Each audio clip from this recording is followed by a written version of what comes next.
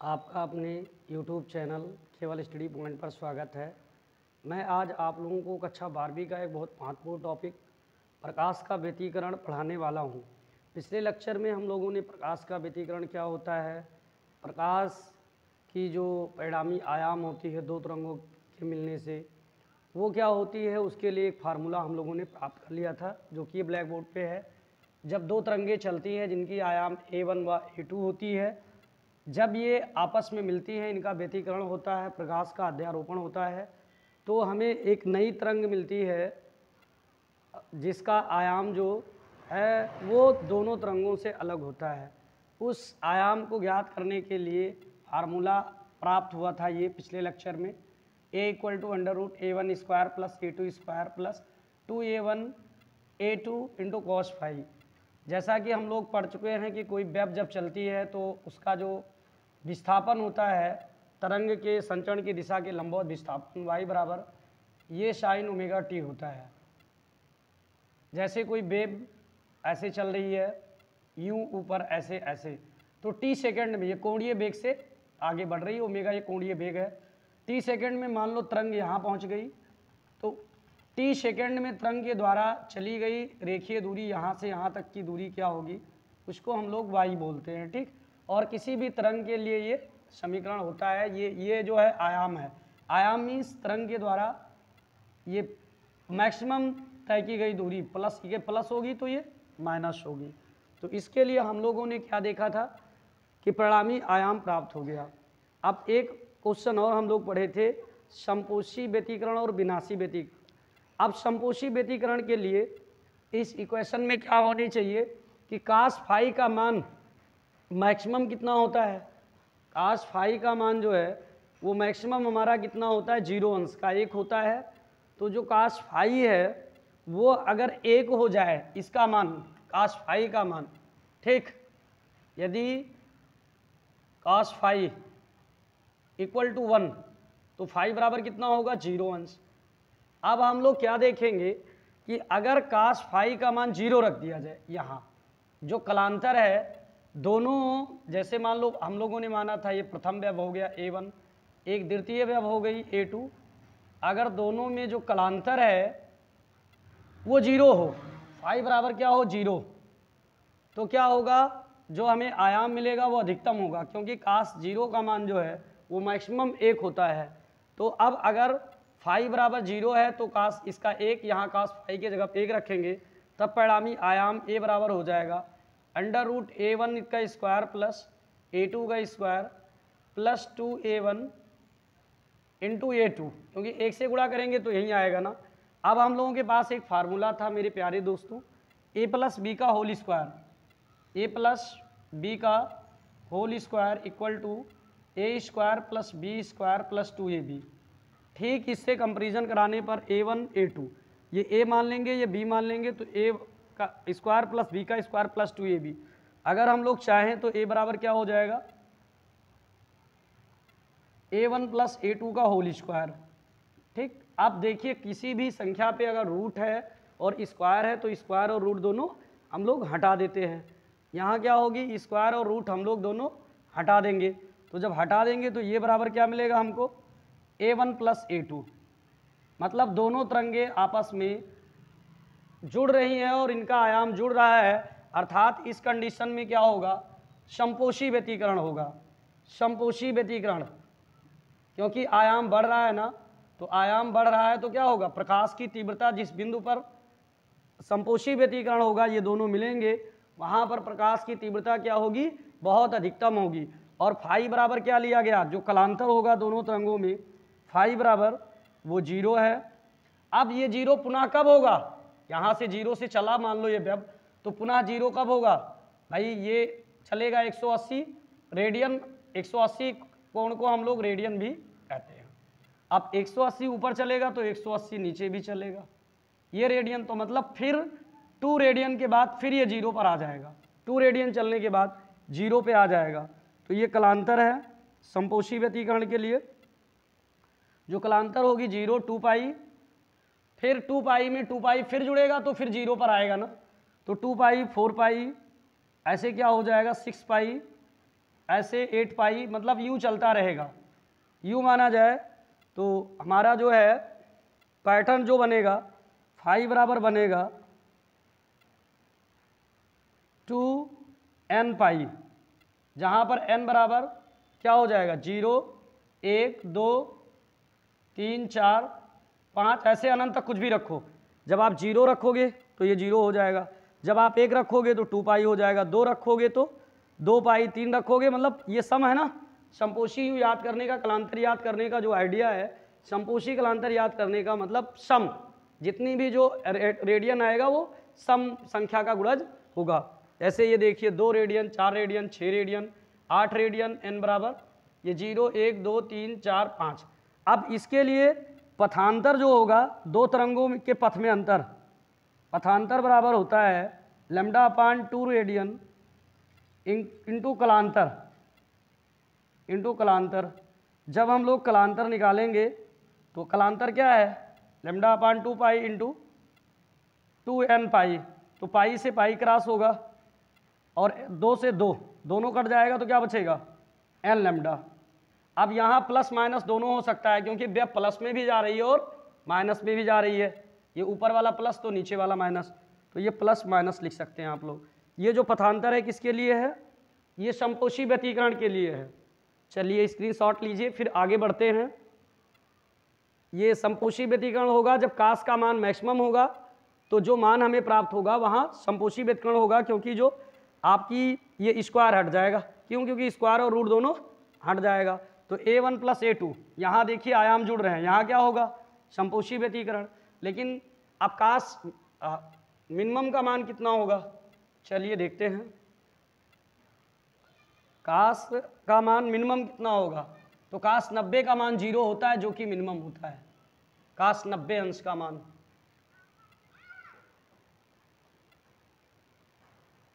Minimum जो होगा काश का मान, वो माइनस एक होता है। मैक्सिमम प्लस एक होता है काश का मान और मिनिमम क्या होता है? माइनस एक। ठीक? क्योंकि माइनस एक जो है, वो ज़ीरो से भी कम हो जाती है। जब देखिए कोण यहाँ ज़ीरो अंश जब होता है तो ये ज़ीरो होता है, लेकिन जब यहाँ चला आता है 180 पे तो ये माइनस वन। मतलब यहाँ ज़ीरो पर, ये आपका एक माइनस एक। ठीक? तो क्या होगा कि काश का जो मिनिमम मान होगा काश फाइव इक्वल टू ये हो जाएगा माइनस वन। काश फाइव का न्यूनतम न्यूनतम मान। ये न्यूनतम मान है। अब माइनस एक रखेंगे खास फाइव के अब तो क्या हो जाएगा? अब माइनस एक, ये क्या बताए थे? यहाँ होगा ज़ीरो अंश, यहाँ मान होगा काश का प्लस एक, और यहाँ आएँगे तो काश का माइनस एक होगा। जब पूरा काश का माइनस एक होगा तो कितना डिग्री चलने के बाद? 180 मतलब एक रेडियन, क्योंकि 180 इक्वल टू क्या होता है? वन रेडियन होता है मेरे प्यारे साथियों तो फिर ये क्या होगा? 180 मतलब रेडियन फाइव बराबर क्या बनेगा हमारा?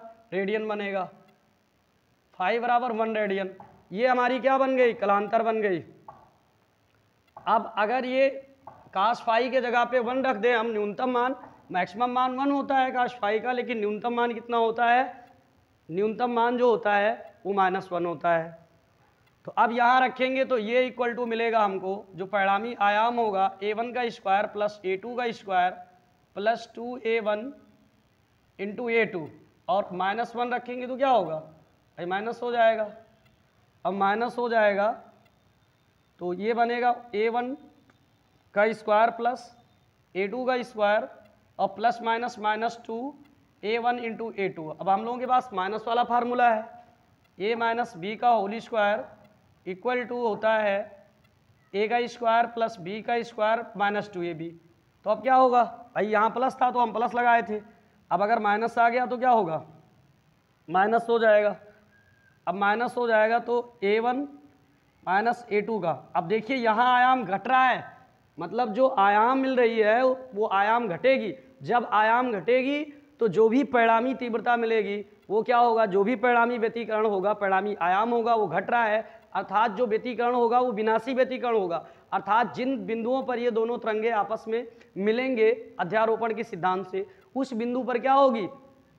विनाशी व्यतीकरण में वहाँ तीव्रता बहुत कम पाई जाती है, या एकदम यूँ कह सकते हैं अदीप्त फ्रिंजें या अदीप्त पट्टियाँ प्राप्त होती हैं। तो ये आप देखिए, स्क्वायर हट जाएगा, रूट हट जाएगा तो ये बराबर क्या बनेगा? A one minus A two. मतलब यहाँ क्या हो रहा है? कैसा व्यतीकरण हो रहा है? विनाशी व्यतीकरण। तो अब हम लोग क्या देख सकते हैं? विनाशी व्यतीकरण में जो हमारी कलांतर बनेगी, क्या बनेगी? कोई वेब्स ऐसे चल रही है। तो भाई 180 पे कलांतर कितना है? 180 अस्सी यहाँ। फिर ये इसी कंडीशन पर कितना कोण तय करेगी? Two radian. एक रेडियन यहाँ, एक रेडियन यहाँ। फिर ये यहाँ आएगी ना, ज़ीरो पे। तो अब हम लोग क्या कहेंगे? फिर एक रेडियन में फिर क्या कितना जोड़ लेंगे? भाई, एक रेडियन ये, एक रेडियन ये, फिर उसी कंडीशन पर आएगी ना। तो क्या टू रेडियन जोड़ेंगे?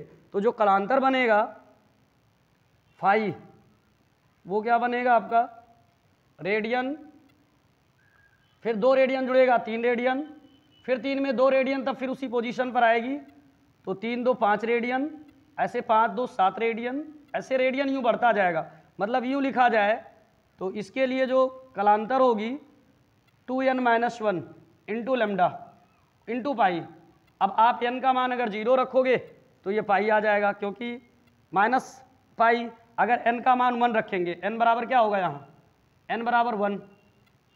टू, थ्री, कहीं कहीं आपको ये प्लस भी मिलेगा, टू एन प्लस वन ठीक तो अब ये रखेंगे वन तो दो एक कम दो, और एक घट जाएगा तो एक रेडियन फिर दो रखेंगे तो दो दुन्नी चार, एक घट जाएगा, तीन रेडियन फिर ऐसे मतलब दो रेडियन भाई, दो रखेंगे तो दो दुन्नी चार। फिर क्या? अब ऐसे तीन रखेंगे तो दुन्नी छः में से घटेगा पाँच रेडियन एक रखेंगे तो दो एक कम दो में से घट जाएगा एक रेडियन तो ये क्या बचेगा? ये आपकी कलांतर है, लेकिन पथांतर क्या होगी? पथांतर बराबर होता है लेमडा अपान टू पाए गुड़े कलांतर। तो कलांतर आपका यहाँ क्या मिल रहा है? कलांतर आपका है लेमडा और ये कलांतर जो है, ये two N minus one into radian two N minus one into radian into lambda upon two pi तो क्या होगी? पाई से पाई कैंसिल होगी। तो हमारी जो पथांतर मिलेगी, क्या मिलेगी? जो पथांतर मिलेगा, पथ में अंतर दोनों तरंगों के, वो two N minus one into lambda by two हो जाएगा। तो ये क्या हुआ? ये विनाशी व्यतीकरण के लिए जो हमारी कलांतर होगी, radian, three radian, five radian, seven radian होगी, और जो आपकी पथांतर होगी, वो होगी two N minus one into lambda by two हो जाएगी। चलिए इस, इतने का स्क्रीन शॉट लीजिए, फिर आगे बढ़ रहे हैं।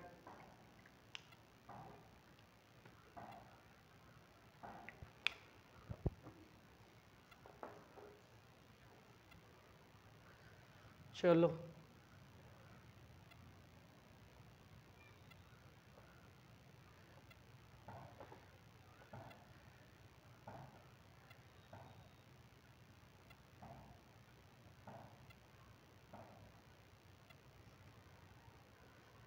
अब जो है, प्रकाश की तीव्रता, मान लीजिए आपके पास दो व्यव चल रही हैं और दोनों की दो व्यवें निकल रही हैं, ये दो व्यव है। इसकी आयाम ए वन है और एक दूसरी व्यव है जिसकी आयाम ए टू है, ठीक? अब क्या है कि इनकी तीव्रता जो है, प्रकाश की तीव्रता जब कोई प्रकाश किरण चलेगी तो क्या होगी? उसकी तीव्रता होगी इंटेंसिटी होगी। तो इसकी तीव्रता मान लेते हैं आई वन और इसकी तीव्रता जो है, ये आई टू है। क्या है? इसकी तीव्रता आई वन इसकी तीव्रता आई टू है। और जो इनकी तीव्रता होती है, इन, इसकी तीव्रता इनके आयाम के वर्ग के समानुपाती होती है। किसी व्यव की जो तीव्रता होती है, आयाम के वर्ग के समानुपाती होती है। तो अगर हम लोग ये लिखें तो आई वन बराबर क्या हो जाएगा? के ए वन का स्क्वायर ठीक, ऐसे अगर ये लिखें आई टू तो आपका क्या हो जाएगा? के ए टू का स्क्वायर अब अगर यहाँ व्यतीकरण हो रहा है, यहाँ व्यतीकरण हो रहा है तो ये दोनों तरंगे मिल जाएँगी और मिलने के बाद में एक नई तीसरी तरंग प्राप्त होगी। तो मान लीजिए उसका परिणामी आयाम ए है। ठीक। अगर हमारे पास विनाशी व्यतीकरण हो रहा है तथा इसकी जो तीव्रता होती है, वो आई होगी। इसकी तीव्रता क्या हो जाएगी? आई होगी। अब हम लोग क्या करेंगे? ये दोनों तरंगे आपस में जब मिलेंगे तो इसकी तीव्रता ये होगी। अब जो परिणामी तीव्रता होगी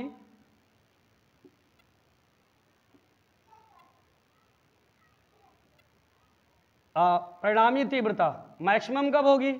तो जब संपोषी व्यतीकरण होगा ना, संपोषी व्यतीकरण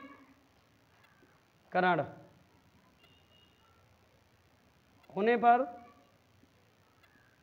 परिणामी तीव्रता अधिक होती है। परिणामी तीव्रता क्या होती है? अधिक होती है। जब संपोषी व्यतीकरण होता है तो जो परिणामी तीव्रता होती है, वो क्या होती है? अधिकतम होती है। क्यों? क्योंकि आयाम बढ़ेगा तो भाई तीव्रता बढ़ेगी। अधिकतम होती है। और विनाशी भी क्या होती है? विनाशी व्यतीकरण पर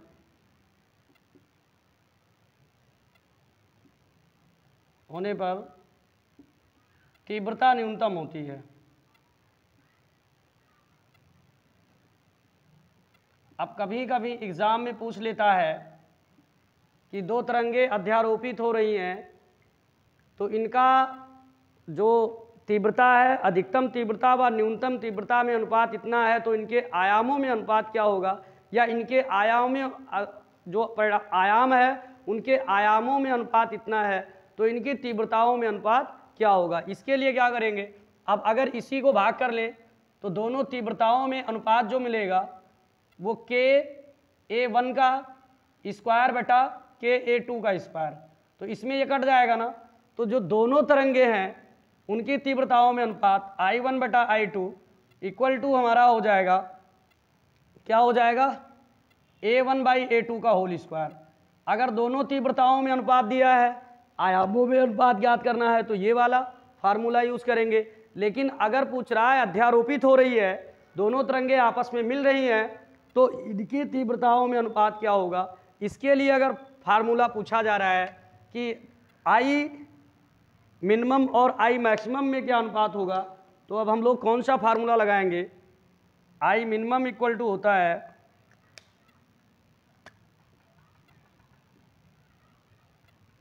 आई मैक्सिमम बटा आई मिनिमम